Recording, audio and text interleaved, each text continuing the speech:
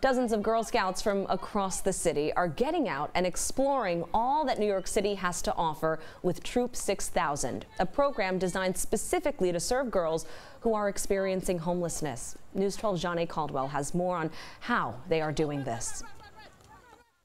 All summer long, Girl Scouts from Troop 6000 have been traveling to cool places like museums, zoos, and even here to Prospect Park for a day of field games. Troop leaders say being a part of the troop helps the girls build bonds while learning and having fun. It's really important for their self-esteem, for them to have mentors and a network that they can tap into when they're suffering and going through something really difficult.